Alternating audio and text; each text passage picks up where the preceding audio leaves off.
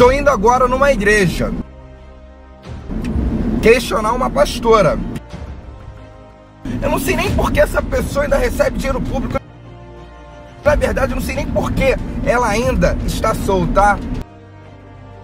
Com certeza, quando eu chegar lá, ela vai querer me dar um banquete. Mas a gente não aceita a oferta do inimigo. Ela é acusada de matar o marido. Vamos ver se ela vai ter coragem de conversar comigo. A Flor de Lis já sabe que eu estou na igreja. Estou respeitando a lei, estou respeitando o culto e não entrei. Oi? Eu acho que respeitosamente eu espero.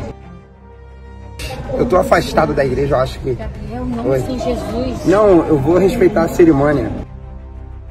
Gabriel, você está afastado? Não. Quem está Não, afastado é. Satanás.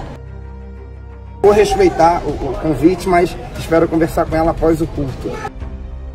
Religiosa, eu acho Então que tem que respeitar. como vereador. Como vereador? Sou vereador no Rio, aqui é São Gonçalo. Não, no, no púlpito eu não entro. Eu não subo no púlpito.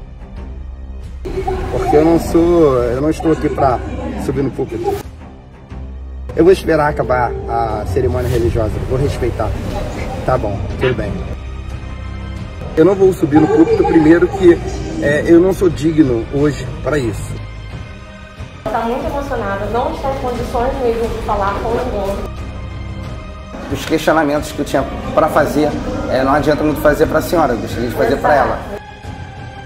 Então, quando ela percebeu que eu não quis subir ao púlpito, é, para ser exaltado por ela, que é uma questão totalmente equivocada, ela desistiu de falar comigo, porque ela percebeu que eu questionaria.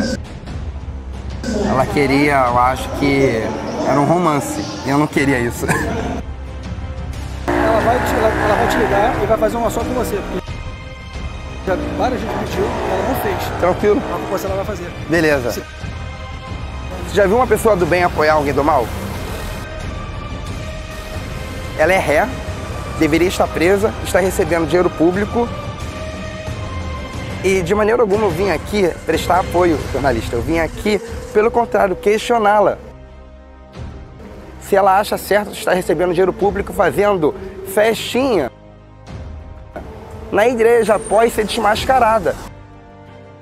Isso é um atentado contra a Bíblia.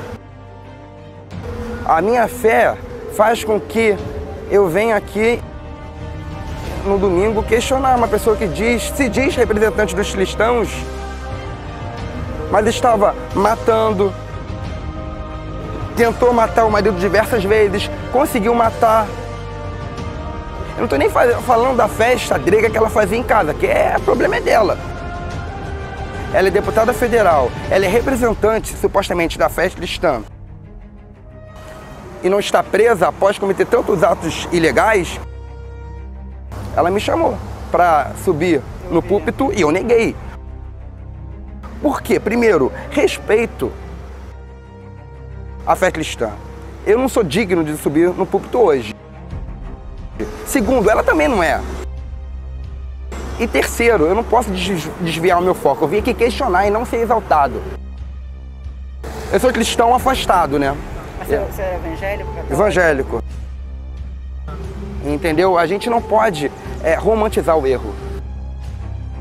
Jesus, pelo contrário, quando estavam fazendo comércio no templo, ele foi lá com chicote. O meu chicote é minha câmera e minhas palavras.